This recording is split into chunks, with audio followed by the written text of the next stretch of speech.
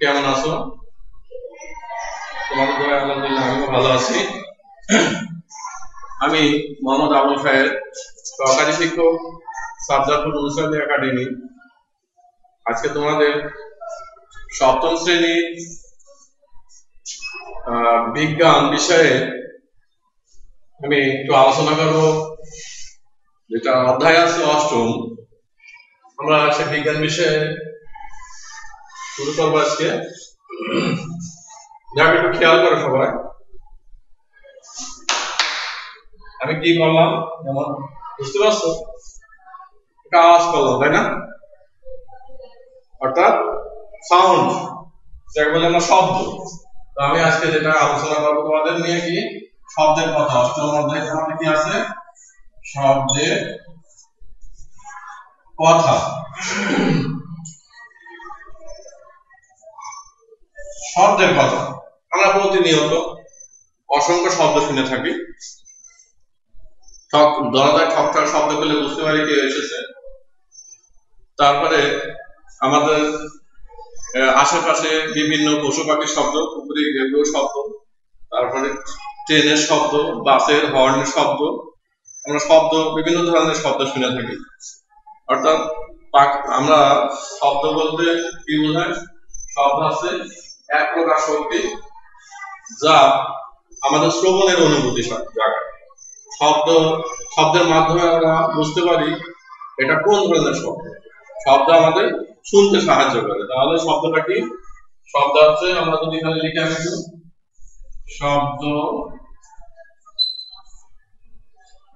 এক প্রকার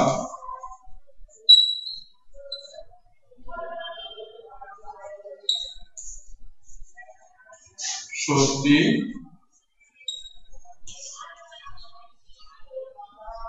যা আমাদের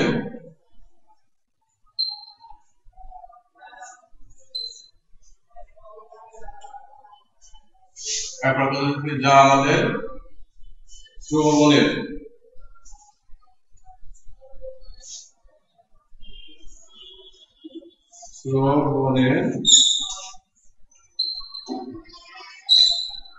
অনুভূতি।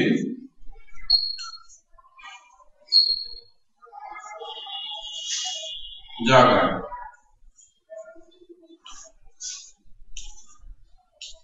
ঠিক আছে?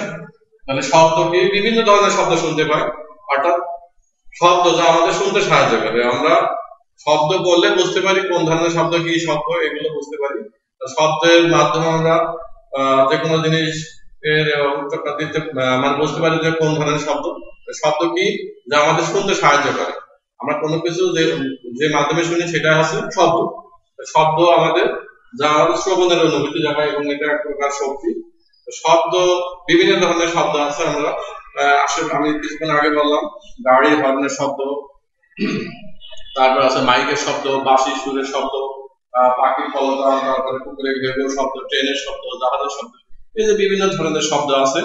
তো এই শব্দ যে বিভিন্ন রকম হতে পারে সেটা নিয়ে আমরা আলোচনা করব এখন। এখন শব্দ ধরন। শব্দ এর ধরন হ্যাঁ? কি হবে শব্দ ও ধরন শব্দের ধরন শব্দ কত প্রকার? আমরা স্বাভাবিকভাবে যে শব্দগুলো থাকে, এই শব্দগুলো কি ধরনের হতে পারে আমরা এখন আলোচনা করব। শব্দ ধরন হ্যাঁ? তো এই যে শব্দকে আমাদের সব শব্দ কি ভালো লাগে? না, সব শব্দ ভালো লাগে। কিছু শব্দ আছে যেগুলো আছে বেশ সুন্দর লাগে মধুর লাগে, কিছু শব্দ আছে, বিরক্তিকর লাগে, তাই না? অশান্তি মতো লাগে, মাথা ঝিমঝিম করে, তাই এই শব্দ যে শব্দগুলো ভালো লাগে, সেই শব্দগুলোকে আমরা বলে থাকি সুরযুক্ত শব্দ। যেমন কিছু শব্দ, আগের কলতান, তারপরে আছে বাঁশির সুর, এবং সুন্দর সুন্দর গান, এগুলো আছে সুরযুক্ত শব্দ। আবার সুরহীন শব্দ কোনটা বললে? যেগুলো আছে অতিরিক্ত বিকট, যেমন ট্রেনের শব্দ ট্রেনের হর্নের শব্দ, বাসের হর্নের শব্দ, মাইকের বিকট আওয়াজ, তারপরে কি তোমাদের এই যে পুকুরে ঘেউ শব্দ, এই ধরনের শব্দগুলো তোমাদের কাছে ভালো লাগে না আমার কাছে ভালো লাগে আমাদের কারও কাছে ভালো লাগে এগুলো হচ্ছে বিরক্তিকর শব্দ। তাহলে আমি দেখলাম শব্দ কয় ধরনের হতে পারে? দুই ধরনের। একটা আছে সুরহীন, একটা সুরহীন আর একটা সুরযুক্ত। সুরহীন আর একটা কি বললাম সুরযুক্ত। আমরা যদি এক নাম্বারটা লিখি, শব্দ দুই ধরনের, তাই না? শব্দ দুই, ধরনের।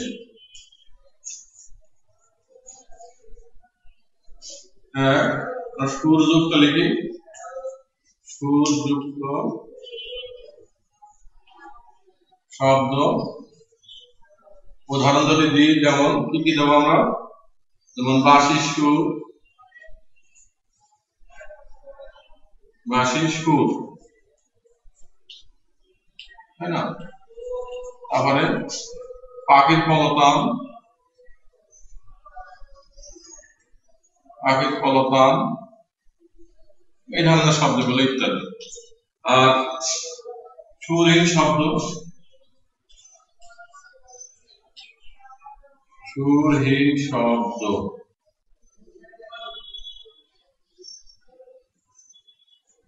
কি সেগুলো? কুকুরের গৃহ শব্দ। বাইকের শব্দ, এগুলো আমরা লিখে দিতে পারি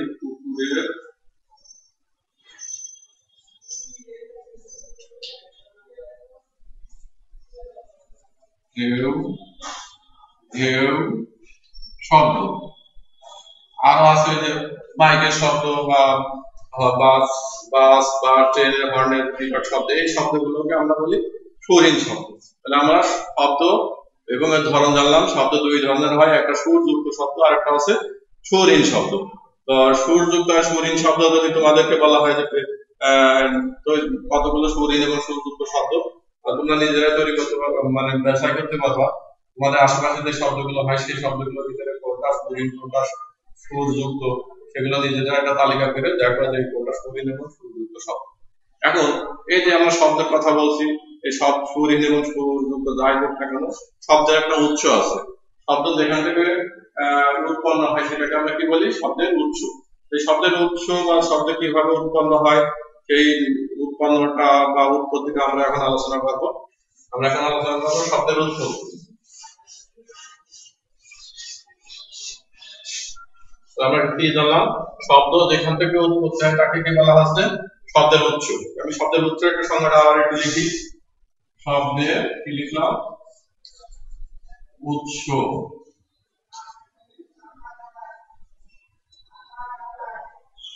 শব্দ।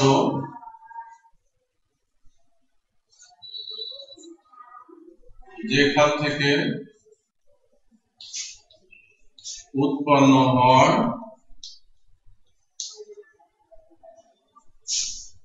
তাকে শব্দের উৎস বলে। তাকে কি বলে? শব্দের উৎস বলে। কি লিখলাম আমি? শব্দ যেখান থেকে উৎপন্ন শব্দ যেখান থেকে তৈরি হয়, সৃষ্টি হয়। তাকে কি বললাম আমরা? শব্দের উৎস। শব্দের উৎস, এই শব্দটা কীভাবে উৎপত্তি হয়? এই উৎস থেকে কীভাবে শব্দের উৎপত্তি হয়, সেটা এখন আমরা দেখব।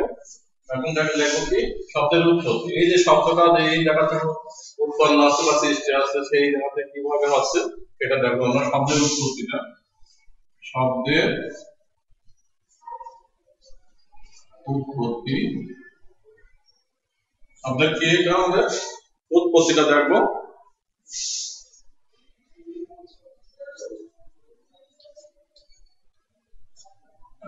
শব্দের উৎপত্তি। কীভাবে শব্দ উৎপন্ন হয় সেটা আমরা কয়েকটা পরীক্ষার মাধ্যমে আমরা জানতে করতে পারি। এই পরীক্ষাগুলো কি কি? আমরা কিছু এর জন্য কিছু সরঞ্জাম আমরা নিতে পারি। যেমন, শব্দের উৎপত্তি আমরা উৎপত্তির কারণ জানার জন্য কীভাবে শব্দের উৎপত্তি আসে তার কারণ জানার জন্য আমরা যেগুলো দরকার সেটা হচ্ছে কাজটা কি? সেই পরীক্ষা সেই কাজের কারণ। এখানে কারণ কি? এটা আমাদের কাজ কি? শব্দের উৎপত্তি। শব্দের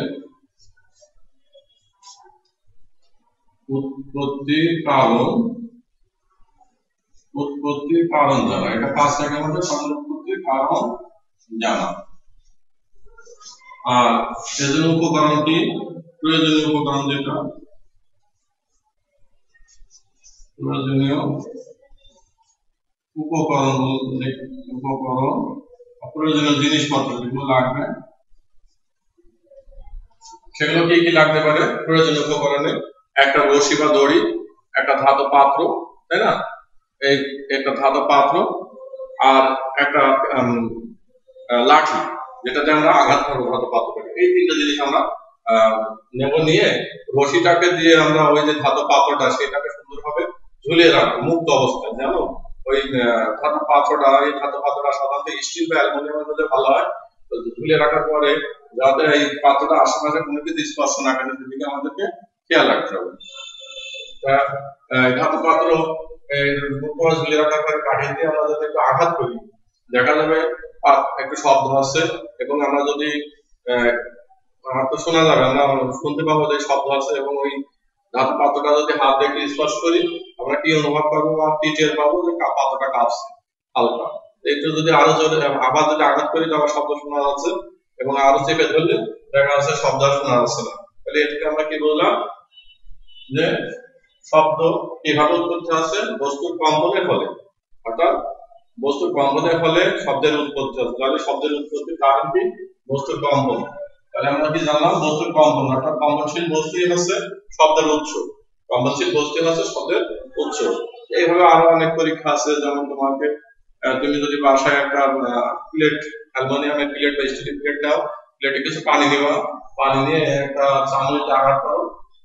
আঘাত করলে এবং ওই যে প্লেটে একটু আঙুল দিয়ে স্পর্শ করে দেখো টের পাবা তুমি বা অনুভব করবা প্লেটটা একটু কাছে আবার কিছু শব্দ শোনা আছে এরপরে প্লেটে আবার আঘাত করো। একটু চেপে ধরো। দেখো প্লেটে শব্দ শোনা আসছে না প্লেট প্লেটের শব্দটা থেমে গেছে এবার আবার আঘাত করো পুনরায় দেখবা আর একটু খেয়াল করো যে প্লেটের পানি, পানিতে যে ঢেউয়ের সৃষ্টি হয়েছে এবং আছে শব্দ সৃষ্টি, শব্দ শোনা আছে। অর্থাৎ আমরা এখানে যে ঢেউয়ের সৃষ্টি হয়েছে, যে প্লেটটা কাঁপছে, এই জন্য পানিতে ঢেউয়ের সৃষ্টি হয়েছে। এটাকে আমরা কি বললাম যে বস্তুর কম্পনের ফলে শব্দ সৃষ্টি আছে। এইভাবে আরও অন্যান্য পরীক্ষাগুলো করে নিজেরা দেখতে পারো।